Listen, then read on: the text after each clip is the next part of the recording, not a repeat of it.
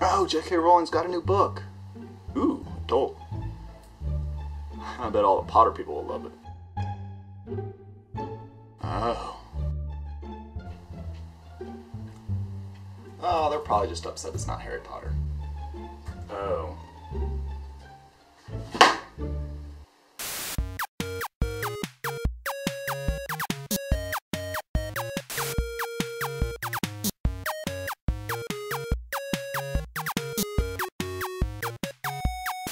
Welcome to Travis Book Reviews, where I review books based on how enjoyable they are and nothing else. Today we have the newest novel by J.K. Rowling, highly anticipated, The Casual Vacancy. If you're not familiar with my reviews, here's how it goes. I review basically just one thing, how enjoyable the book is, and I do that by categorizing it into these categories.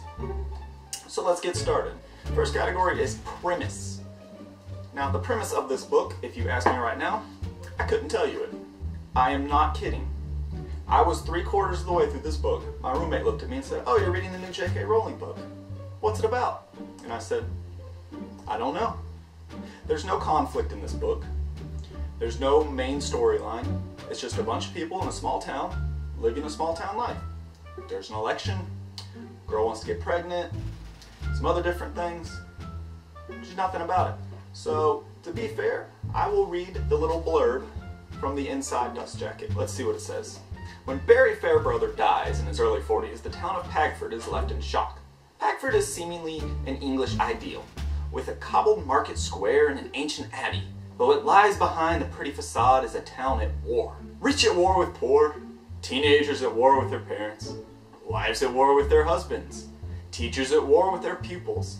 Pagford is not what it first seemed. Quick interjection, that is exactly what most towns seem like. Everybody fights like that. And the empty seat left by Barry on the parish council soon becomes the catalyst for the biggest war the town has yet seen. Who will triumph in an election fraught with passion, duplicity, and unexpected revelations? I don't know. I, I read the book and I still don't know. Here's the small and short of it. This book had no storyline. It's one of the first books I've ever read without a story in it. It's just a bunch of small people living a small town life and that's it. I mean, there's there's it's it's boring. There's no premise at all, and for that one star. Now the writing. Writing for me is just very simple. How clearly it shows the story, how well it sets you in the scene. So for that, this book is just like Harry Potter in the fact that it's very well written. There's one caveat to that. One thing about this that really ticked me off, and this will kind of bleed into the character section as well. But here it is. This thing jumps between field of view constantly. The, there's no specific voice for the character narrating, and there's a bunch of different characters, main characters, mind you, and it jumps between each one telling you what, what's going on. And it doesn't do this with hard breaks, chapter changes, scene breaks. It just, between a paragraph, you're suddenly with somebody else, and it'll take you a little while to adjust sometimes to that. And what this also does is it doesn't allow you to get to know the characters at all, but I'm going to talk about that more in the characters section. So for writing, I'm going to give it four stars, really just that one flaw. Other than that, it's pretty great. She is the best at writing phonetic accents I've ever read. Hands down, the actual dialogue is great. Now some people are pissed off that there's cuss words in it. This is an adult novel. It's for adults. Adult novels depict the world actually, precisely. They don't sugarcoat things. People cuss in real life. If you are too much of a little insert word here to deal with somebody saying an F word when they would say an F word in real life, grow up. There, that's my rant. So for writing, four stars. Now humor. When I saw an early interview of this, J.K. Rowling said it's a comedy, like a dark comedy, a tragic comedy. Not, not really. It did have some funny parts in it. I did laugh every once in a while. But the thing is, I didn't care about the characters, which once again we'll talk about in the character section. And so their jokes didn't really fly so well. It's not that they all missed because some of them did hit, but there was a lot of misses. I was pretty just much miserable reading this book, which we'll talk about in the journey section. So for humor, we'll just round it out with an even three stars. Not great, not bad. All right, here's one of the big rants for this book. Characters. There are a crap load of characters in this book. Main characters, a ton of them. A ton of them.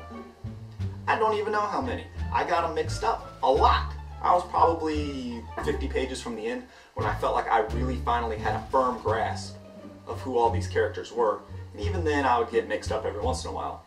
If I was gonna throw a guess out there, I'd say there's 10 main characters, and you do not get to know them at all. There's two reasons. One, they're just generic people. There's a junkie, just a generic junkie, no redeeming factors about her. There's two teenage boys, one has acne, whatever. There's some businessmen, a fat guy. I mean, they're just generic people. Nothing special about them. And you don't get any time to know them. Now, you can have a ton of main characters in the book. One of my favorite authors is Stephen King. He's written several books with a dozen or more main characters. The Stand, It, and Under the Dome are the ones that jump out at me. And if you look at them, in fact, I'll get them right now. These books have a ton of characters. If you'll notice something, they're both huge, huge books. And the reason they're huge is because they have a bunch of characters in them. You can't introduce a character and get somebody to know them in two pages. And that's what happens in this book. You jump between a different character every two or three paragraphs, and you cannot get them straight. You don't know anything about them. I just, I was getting them mixed up because I didn't get to know the characters. So for characters, one star, awful. You don't need that many characters, and if you do, stay with them and tell stories that actually have a point. The next category is journey. Journey is simply how much I enjoyed reading the book. Now I'm sure you're going to be able to guess reading this book. Let me classify my system real quick. One means I hated it and couldn't finish it. Two means it was awful but I finished it. So this is going to be a two. It was awful. I didn't want to finish it because there was no story in here. I couldn't keep the characters straight. I felt like I had to have a notebook just to try and sort out who the heck I'm with at the point. Okay, this is Miles. Who's he married to? What what's his purpose? But there's no there's no plot. There there is no there was no conflict in the book. So I was not looking for a conflict resolution. Literally, I was about 100 pages from the end, and I said, well, I might as well finish it. Maybe the conflict will show up now. It didn't. Horrible book to read. I did not enjoy it at all. I will never reread this. Guarantee you that. Never reread this. I didn't even want to finish it. The only reason I finished it was because of that name right there. I have huge respect for this woman. She is a genius, and I thought there would have to be some conflict at one point. There would have to be a story at one point, so I just kept with it. So since I did finish the book, I have to give her two stars. Really, it's more deserving of one. Here's the ending. I would say there's spoilers in it, but since there's no conflict in the book, there's not going to be spoilers. Uh, a little boy dies. Her sister overdoses purposefully on heroin and dies. And then they have a funeral. Uh, there was also an election in there. Maybe that was part of the end. But really, I don't know how to classify the end because there was no story, there was no conflict, or no story arc. There was none. No arc. It was just Batman the entire time. So, ending. Uh, I was expecting to finally see like a plot twist or some redeeming factor or something. Nothing there. So one star. Now overall, this book was a humongous disappointment. I love J.K. Rowling. I loved Harry Potter. I think it is the most brilliant work of fiction ever written. I didn't pick this up expecting this to be Harry Potter. I knew it was an adult book. I thought it was just going to be a very well written, with deep, interesting characters like Harry Potter. I wasn't offended by the language because, once again, it's an adult book. People talk like that in real life. She didn't put cuss words in the prose. They were all in dialogue. Duh. People cuss. Get over it. I, I saw the reviews before I picked the book up, and I was like, well, they're just they're disappointed it's not a Harry Potter book. They were expecting something different. They don't normally read adult. But I read adult all the time. And this was tied for the worst book I've read this year.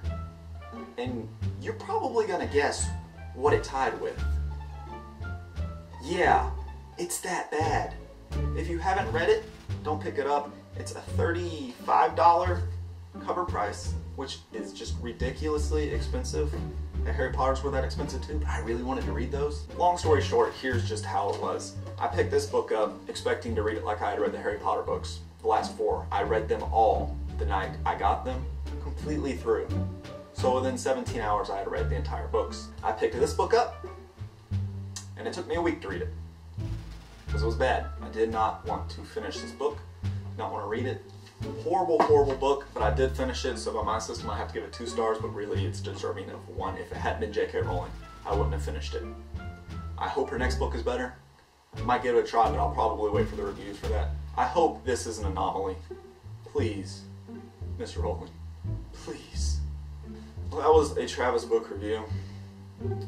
I'm disappointed. I'm sure you are if you've read it. If you haven't, go get it from the library if you simply have to read it. It's not something you're going to want to reread. Thank you for watching. Keep reading.